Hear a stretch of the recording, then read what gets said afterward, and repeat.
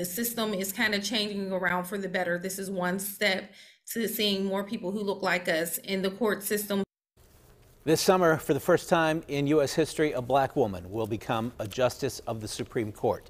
Judge Ketanji Brown Jackson's confirmation has the legal world buzzing, especially local law students of color. Chris Hoffman has reaction to the historic confirmation. According to both lawyers as well as law students, the confirmation of Judge Jackson makes the Supreme Court look more like the country it represents.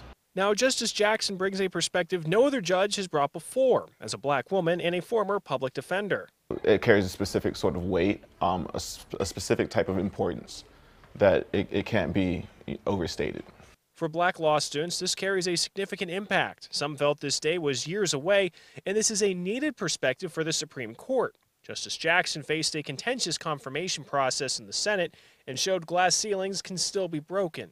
I think having the perspective of different genders, different races, it's going to bring this just really needed impact. The Pittsburgh Black Lawyers Association expressed their excitement over the confirmation. They say at a time where Allegheny County has a historic number of black women on the bench, it's important the country's highest court follows suit.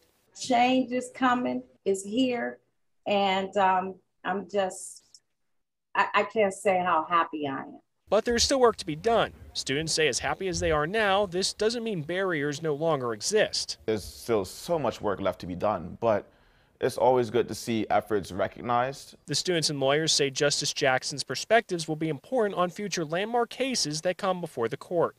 Chris Hoffman, KDKA News.